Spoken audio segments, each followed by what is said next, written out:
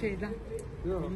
Bunlar 55 Ukrayna bizim konjöktürel bir dostumuz değil, stratejik, uzun vadeli bir dostluk olarak Türkiye halkıyla, Ukrayna halkıyla ve Kırım Tatarları olarak biz geleceğimizi beraber inşa etmek istiyoruz, beraber kurmak istiyoruz ve şu anda da Rusya'nın, saldırgan Rusya'nın Ukrayna topraklarına yapmış olduğu işgal hareketi, saldırısı karşısında bütün Türkiye'de yaşayan Kırım Tatarları olarak Ukrayna halkıyla beraber olduğumuzu zaten ilk günden itibaren ilan ettik ve bu duruşumuz hiç en ufak bir sarsıntı göstermeden, irade zafiyeti göstermeden devam etmektedir.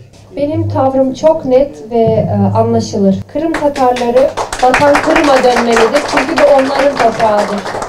Bizim görevimiz ise Kırım Tatarlarının, Ukraynalıların, Türklerin görevi ise tarihi adaleti yeniden tesis etmek. Ve unutmamalıyız ki Kırım, Kırım Tatarlarınındır ve Kırım Ukrayna'dır. Daha savaş devam ederken bitmesini beklemeden Kırım evet Ukrayna'dır ama Kırım aynı zamanda Kırım Tatarlarınındır diyebilmeliyiz. Akabinde bu gerçekleştirdikten sonra da Kırım Tatarlarının misafir değil de ev sahibi gibi hissetmesi, yerel yönetimlerde her türlü kurumda ve özel statüde temsil edilmesi için elimizden gelen her türlü çabayı seferber etmeliyiz. Tam da bu nedenle şu ana kadar gerçekleşen ve gerçekleşecek her türlü uluslararası görüşme ve platformda Kırım'ın kaderi Kırım Tatarları olmaksızın tartışılamaz, müzakere edilemez diyoruz. Bizim Kırım Tatar milleti Kırım'daki hareketleri, kureyşi devam etkenini endi 11 sene oldu. İşte milletimiz dünyada o kadar hürmet kazandı. Yifak diler, az, azlık diler yok. Bizim milletimizin gücü, ruhu, duğu çok büyük.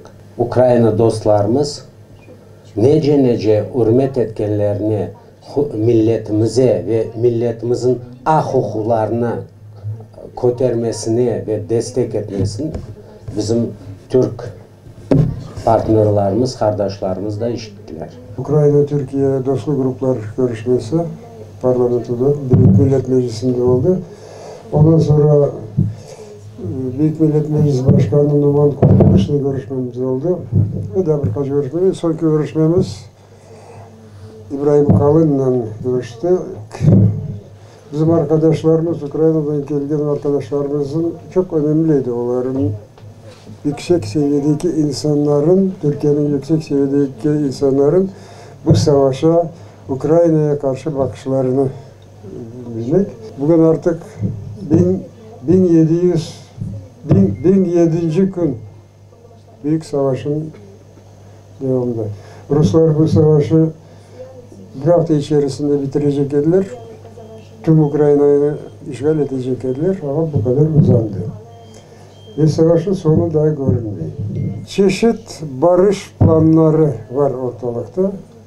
Bazıları diyorlar ki işte bu savaşı nasıl olsa durdurmak lazım. Askerler olduğu yerlerde kalsınlar.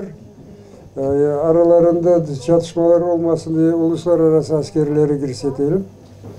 Bizim için hiçbir şekilde bu gibi teklifler kabul edilecek gibi değil. Ukrayna'nın işgal olan toprakları uluslararası kaidelerine göre Birleşmiş Milletler Teşkilatı'nın tüzüğüne göre o topraklar boşaltılması lazım. Aksi takdirde bu barış değil de daha kanlı, daha böyle dehşetli savaşa bir e, bu olacak.